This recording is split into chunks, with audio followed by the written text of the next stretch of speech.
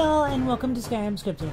This is my channel where I focus on teaching prospective and existing mod authors how to write scripts in Skyrim mods that do fun things. Maybe you could make a follower follow you, uh, or you could make them explode. Whatever you want to do is up to you. That's why I love scripting so, so much. It's really empowering. There are a ton of different video tutorial screencast series out there um, both on YouTube and Twitch that you should absolutely watch that teach you how to make Skyrim mods. Now, I'm not very good at the graphics and all of that stuff. I'm still learning. In fact, I'm still learning how to make mods at all. But I'm coming to the Skyrim modding community with over 15 years of professional software programming experience, and I love the Skyrim scripts. They're so, so, so much fun. So I figured I would introduce myself, uh, this is my pseudonym, Mrowr Purr. A number of reasons why I've got it, including my devious episode series and um, not trusting the gaming community. Um, so, what do I want to do? I've got some questions and answers. I'm going to go through a couple of them. Feel free to bail now and just hop on over. Go to one of the YouTube playlists, go to skyrimscripting.com or whatever the long link is to my YouTube. I might have youtube.com slash like Skyrim scripting by now. I don't know. So um, I have a lot of these leather jackets. It's the same leather jacket, and I have about five or six of them. I have about uh, 20 or like 30 of this shirt in white and a few in black. Uh, this is a, uh, a feather. I like it. it. Makes me think that I will feather fall if I fall off of something because I'm afraid of heights. Um, what did I wrote down? why am I just joining the community now after like 10 years of modding? That is the second thing that Dark Fox said when he watched my, that's Dark Fox 127, when he watched my episodes for the first time. First thing he said was, Ew, Firefox. Whatever, I like Firefox.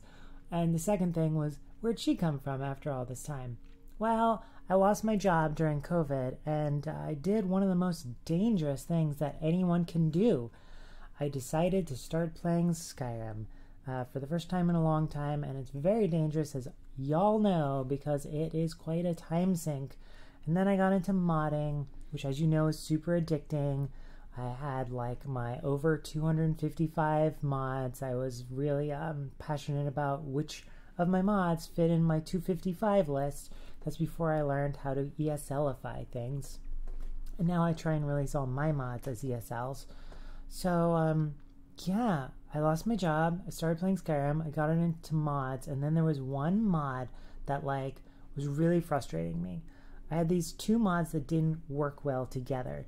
One of them gives you like a map and uh, like an actual map in your inventory, and you can't open up your um, the map if you don't actually have a map. And you can buy them at stores and things like that. You might be able to make them. I don't think so. I think you have to buy them in a store. How could you make a map of Skyrim?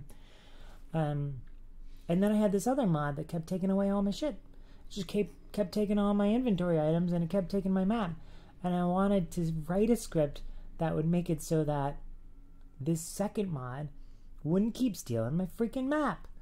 So I wrote some code and one thing led to another, and here I am. I had a little bit more time off before starting a new job, and I made a YouTube channel. It's called Skyrim Scripting. So, yeah, what else do I want to do? Why do I have a Devious series? Uh, well, some of those first mods that I got into are not on Nexus, and I want to give back to the Lovers Lab community if I can.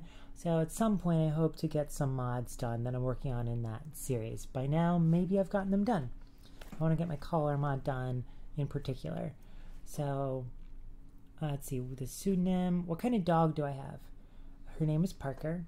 She's a long-haired dachshund slash Pomeranian, I think. I don't know. She's a rescue and she's a little bit camera shy, but I pull her into the episode every once in a while. Sometimes you'll just see like a dog butt, just like somewhere here in the green screen, and uh, that's her. She's walking around.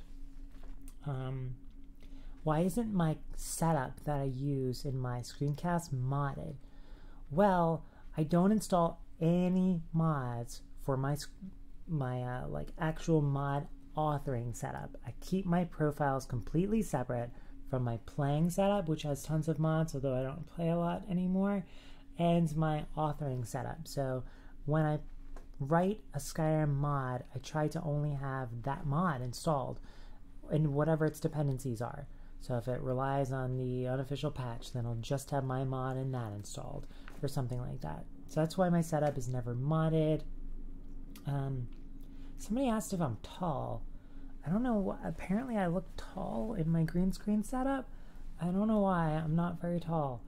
Um, my hobbies. I play D and D on Saturdays.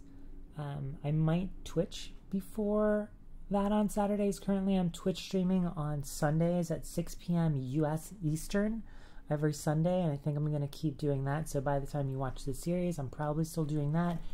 I might Twitch Saturday United States mornings, except Dark Fox currently does around the same time.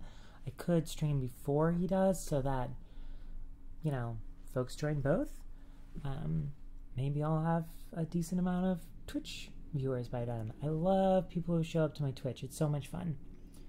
Uh, what is my setup? Okay, people love setup stuff. So my text editor is Visual Studio Code. I'm using that instead of Sublime Edit because Visual Studio Code has a Papyrus log viewer and debugger built into it, and I think it has better auto completion, which shows descriptions from functions and um, will just like load up all of your different Papyrus scripts and you can manage it. And it uses this tool called Pyro underneath the hood, which is what Fallout 4 folks use. Um, it, uses project files, which are like the Fallout 4 folks ones. Um, the camera is a Brio. Uh, I don't have a real green screen. This is XSplit. So whenever this messes up, like right here, it's messing up a little bit. That's XSplit. It's not me. Don't blame me. I'm using OBS because everyone uses OBS and it's lovely and amazing. Um, I'm using a pre-built PC and it's just a Dell. I'm sorry. I'm not obsessed with hardware. It's just a Dell Corsair 1. It's got an RTX 2080 Ti in it. Uh, my audio, I use a pair of Hypercardioid uh, Audio Technica AT4053Bs. Uh, they're on little kind of boom stands, if you will. One of them is right here. You can see it right there, but it gets green screened out. Um, so it's an audio, a stereo pair of those. So I think that's everything I wrote down. Um, I just want to help folks who are either existing mod authors who haven't really gotten deep into the scripting side of things, which is tons of script author, uh, mod authors, and just folks who are coming to like Skyrim mod authoring for the first time. I just want to make the scripting aspects of it not scary. That's my goal. So I hope I'm doing that for some folks. I want to make it so that if you've never written a line of code in your life, you can follow along with some of my series. Right now, I've got one that I think focuses on that called Beginner Basics, and another one that's like a 12 episode just intro to Skyrim modding. But I like my Beginner Basics series right now that just kind of gets you up and running with all the concepts so that you can write really, really cool Skyrim mods that do a lot of cool scripting stuff because scripts aren't bad, and if you've heard that, then you're misinformed. There's certain types of scripts which are bad. So, yeah, I think that's all I've got. I thank you. Um, thank you. I hope you enjoy the channel. Leave comments, uh, leave likes, I guess. Subscribe if you want to. I don't care. I guess I would like to like you to, so that you can know when my episodes come out. But uh, leave comments. That's my favorite. Tell me what other types of episodes you want to see.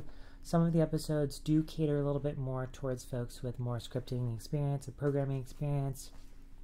I try and make them as accessible for everyone as I possibly, possibly, possibly, possibly can. And uh, yeah, should I say the words? Let me get my dog's my dog before I say the words. She was a little shy, but I got her uh, in her dog bed. So uh, this is my puppy, and from both of us to you, happy modding, everyone. All right, happy modding.